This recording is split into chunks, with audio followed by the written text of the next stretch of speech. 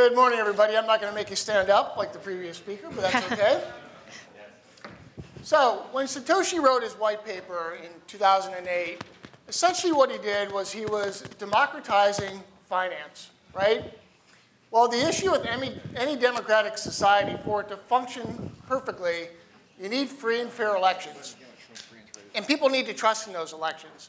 So here lies the problem. Over the last 25 to 40 years, trust in governments running fair and free elections has gone down precipitously. In the 2016 US presidential election, two thirds of all Americans believed that the votes that were cast were not count, counted properly. Okay? Incredible. We talk about in the elections business, in fact, that the trick in elections is to convince the loser that they lost, because losers typically are the ones that contest elections. It's unprecedented that we actually have a winner who's actually contested the election results, which is kind of crazy. And we saw last year that Venezuela and Kenya had unprecedented democ um, democracy crisis where the election results that were presented by the president actually were not the real results. Okay? So we need to restore trust in fair and free elections.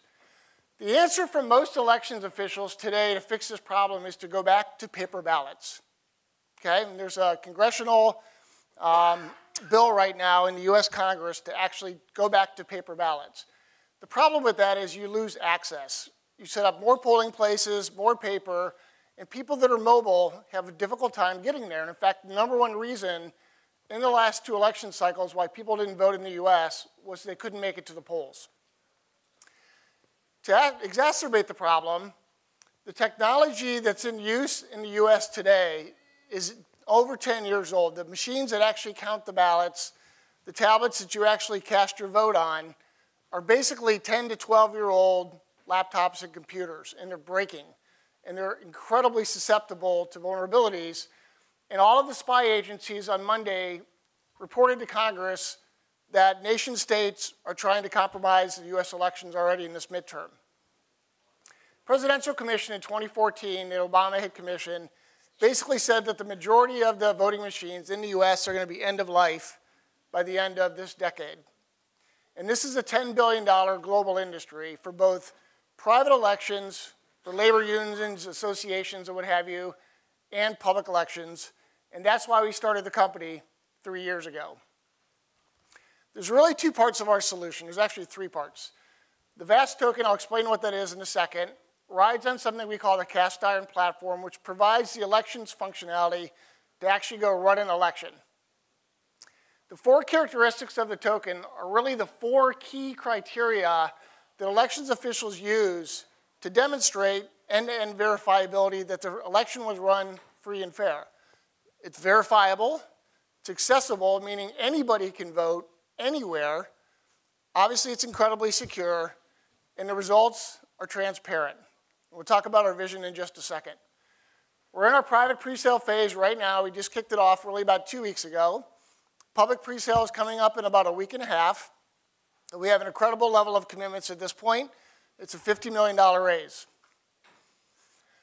We're three years old, and to date we have 8.2 million votes cast on our blockchain platform. Nobody in the world's done that yet.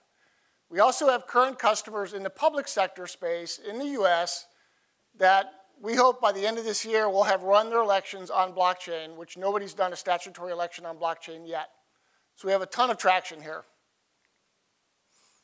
In fact, if you go to, uh, if you live in DC and you're in the military and overseas, you can download an app in DC, you can download an app in Montana, you can download an app for a couple of other states that are our customers, and that gives you the ability to vote on our blockchain platform, which you see the admin console on your left there. We've gotten a lot of press since we've done this two years ago. We believe, as do a lot of other people, the blockchain is the perfect platform to fix online voting problems. We had a vote in uh, an election uh, in the summer, and our vision is that on our blockchain platform, you can have these independent parties verify every vote that comes in in real time. We had an election in the summer with the Radio Hall of Fame, and they had their accounting firm had a node on, their, on our platform, and typically they would certify the results two weeks after the election. They certified the results in 20 minutes. The chairman was incredibly happy. because of our traction, we've been recognized in the crypto world as having um, a lot of um, leadership in terms of uh, some of our competitors that are out there. And this is a high level view of our platform. The other thing we are building is right there in the middle called the proof of vote, which we just trademarked, we think is pretty cool, protocol that we are open sourcing. So we are going to put this out into the public domain, we thought it was critical that this protocol is in the semantics of elections officials, not crypto people. So this describes end-to-end the processes operationally and the security and all the blockchain components that go into running an end-to-end verifiable election.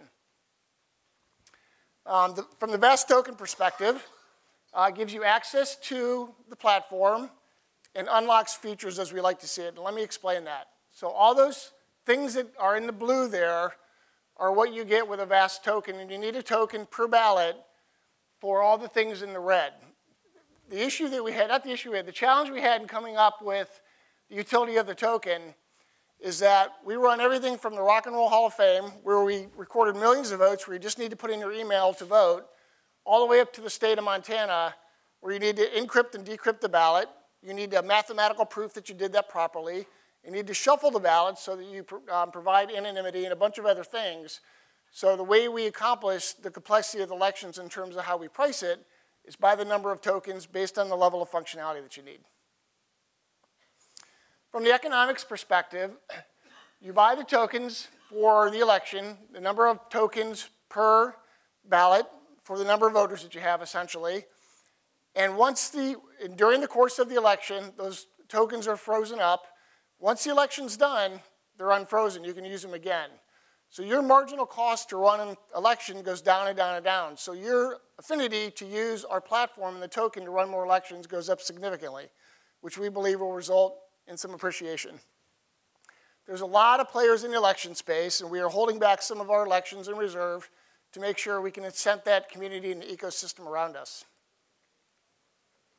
Product roadmap, we have an incredible team. This is my fifth company. I work for SAP running an $80 million business unit. I've sold, started and sold and scaled four companies. We have an incredible management team that has run very large global mobile um, companies.